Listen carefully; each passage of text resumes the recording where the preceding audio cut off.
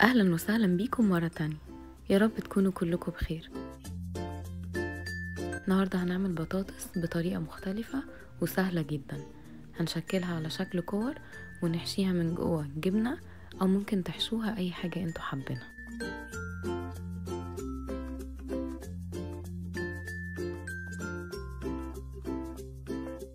هتلاقوا المقادير والطريقة بالكامل تحت الفيديو.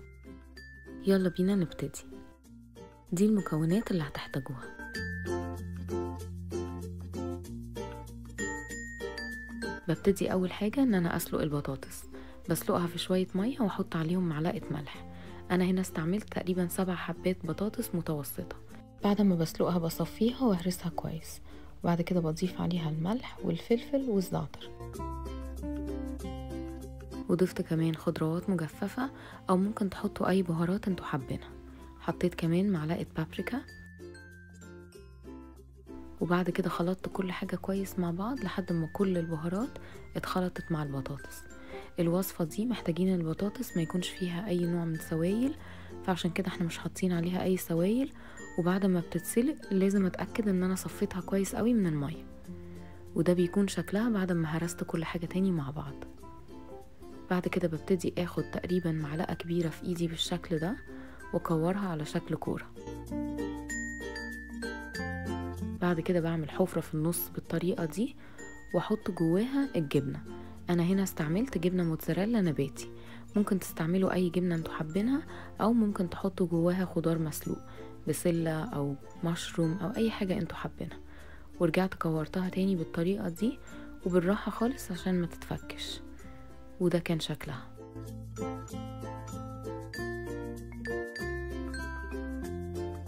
وهوريكم بسرعة واحدة تانية.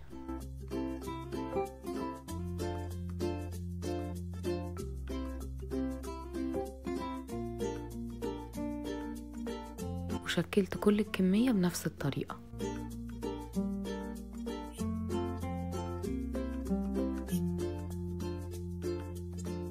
بعد كده في طبق منفصل حطيت الدقيق وعليه النشا وضفت عليهم شوية مية. المية دي لازم تكون باردة علشان النشا يدوب فيها. وهقلب كل حاجة كويس لحد ما كل حاجة تتخلط مع بعض.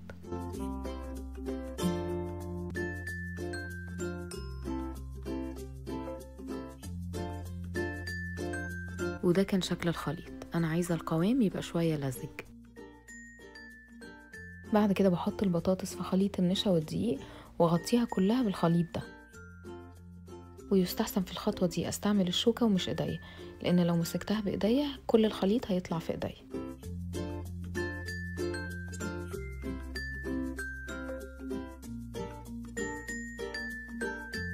وبعد ما بغطيها بخليط النشا والدقيق بحطها في البقسماط. وبرضو بالشوكة كده بالراحة خالص ببتدي إن أنا أغطي البطاطس بالبقسماط وأحاول على قد ما أقدر إن أنا ملمسهاش قبل ما أغطيها كلها بالبقسماط. لأنه الخليط هيطلع معايا لو أنا لمستها بإيديا.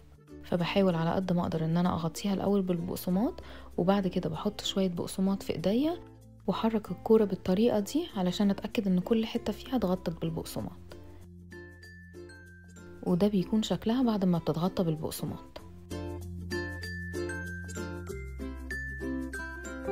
وبعد ما بغطي كل كمية البطاطس بالبقسماط أسخن الزيت. الزيت لازم يكون سخن قوي قبل ما ابتدي أحمر فيه البطاطس. وبعد كده ببتدي أحمر البطاطس في الزيت. أنا هنا حطيت واحدة علشان تبقى واضحة بالنسبة لكم. وعادة البطاطس في المرحلة دي ما بتاخدش أكتر من دقيقة. دقيقة واحدة بتكون كافية إن البطاطس تتحمر ولونها بيبقى ذهبي فاتح.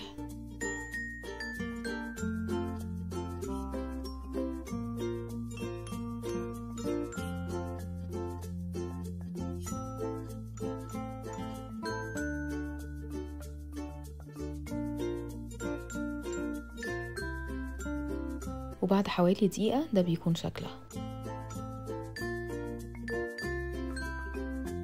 وبعد كده بحمر كل الكمية بنفس الطريقة. وبالهنا والشفا.